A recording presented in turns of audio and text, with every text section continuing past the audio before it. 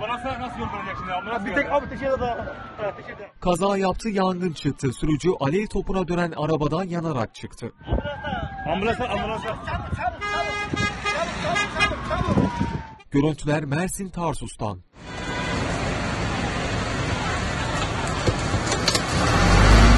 ...65 yaşındaki İbrahim K. aracıyla seyir halindeydi.